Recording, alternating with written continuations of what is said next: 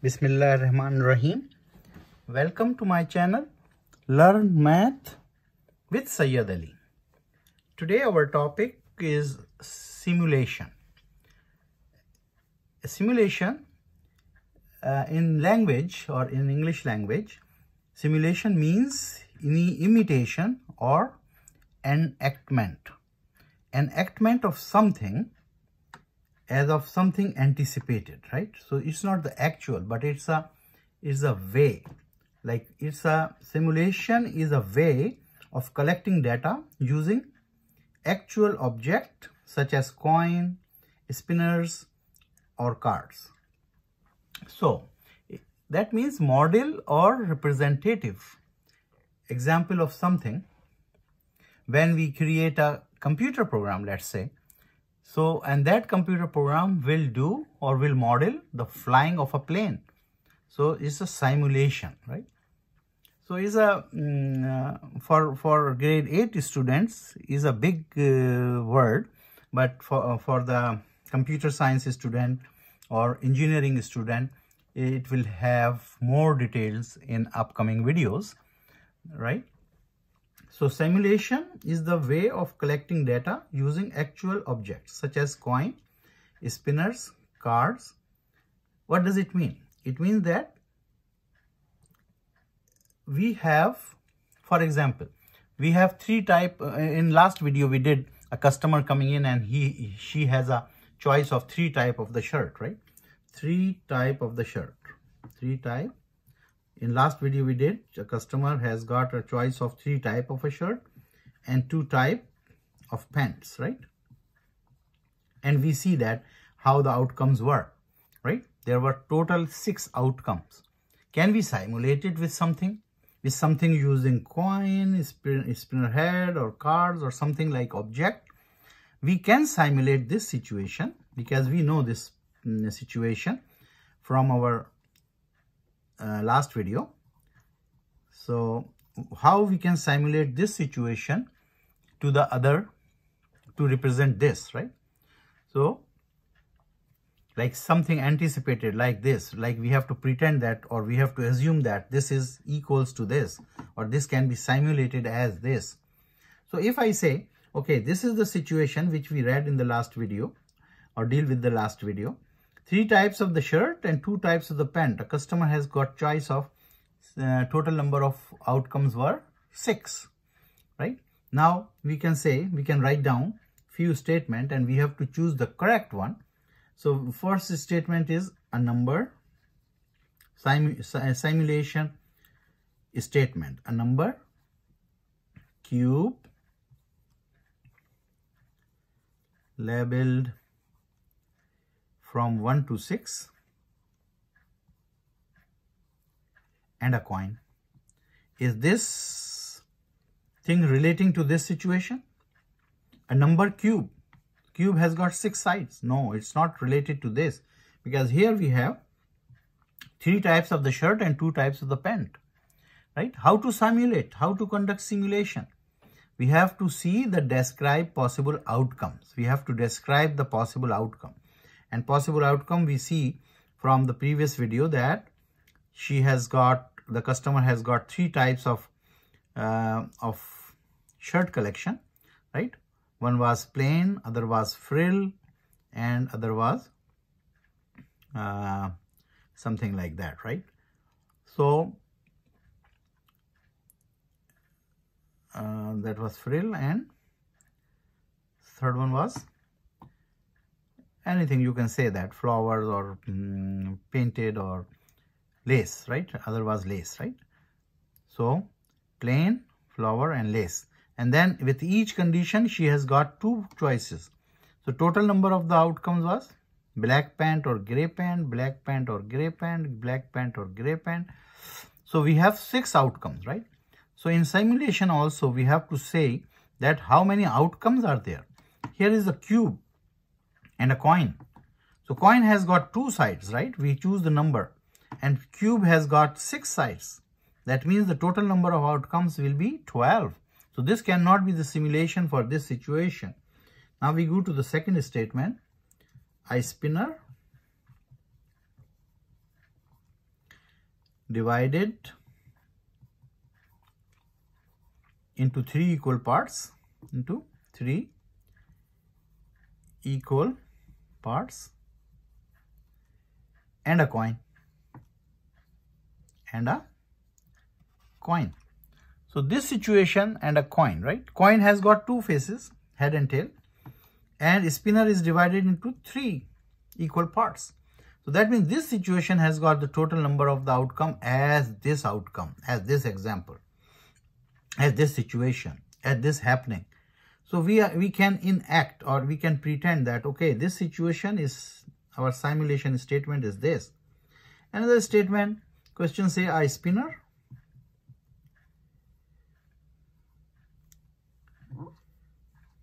A spinner divided into five equal parts.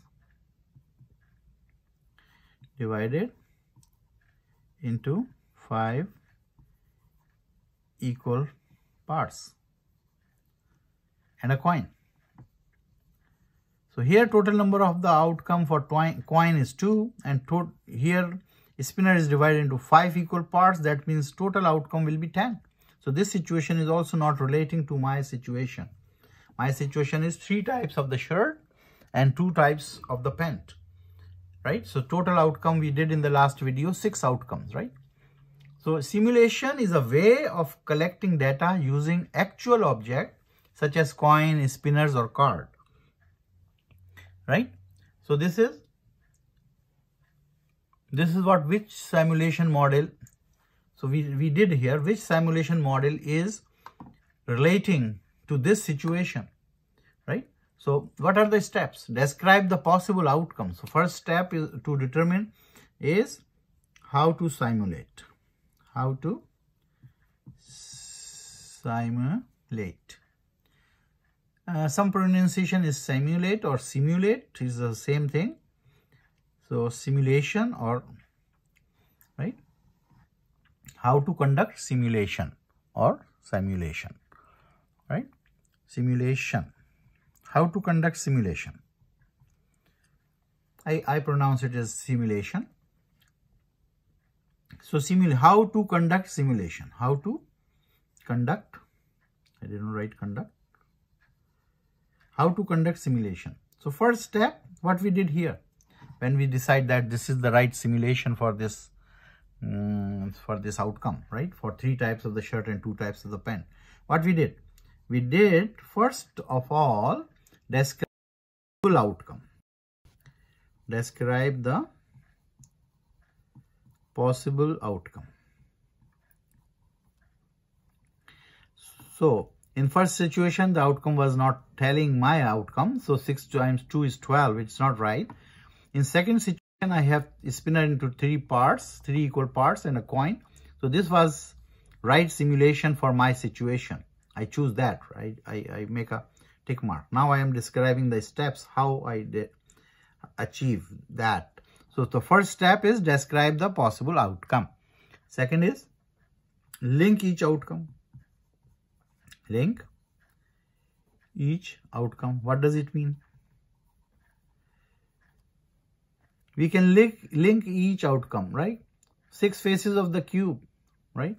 With the two, right? So we can say one cube, cube can give you one, one with head and one with tail. Then two, two with head and two with tail. Three. So this example will end up with 6 times 2 is like 12 outcome. Here we can have three div spinner divided into three equal parts. Maybe they have colors, red, yellow, blue, and then a coin.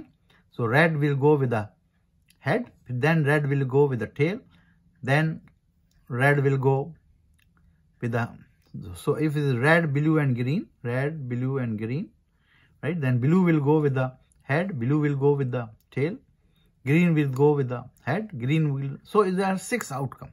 So link each outcome Hope you understand. I mean, we have to link each outcome means what is happening with this and this.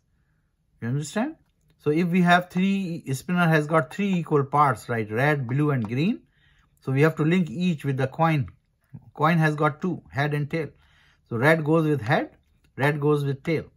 blue goes with head blue goes with tail green with goes head green with go with tail six outcomes right so this is simulation for this situation so why we have to link each outcome so we choose a source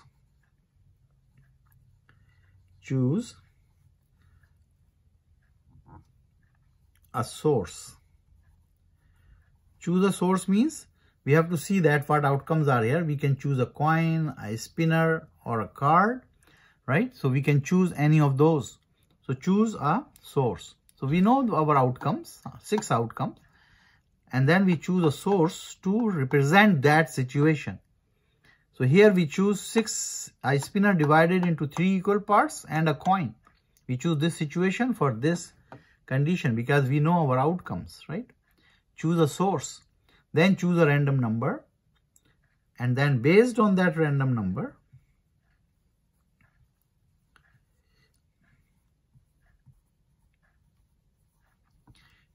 choose a random number and then we have to repeat, right?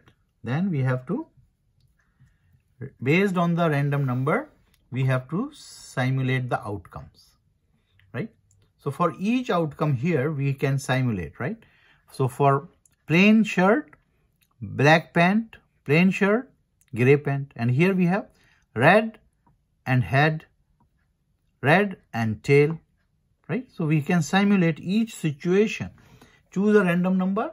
Based on the random number, we can simulate the outcome. So last step is simulate the outcome.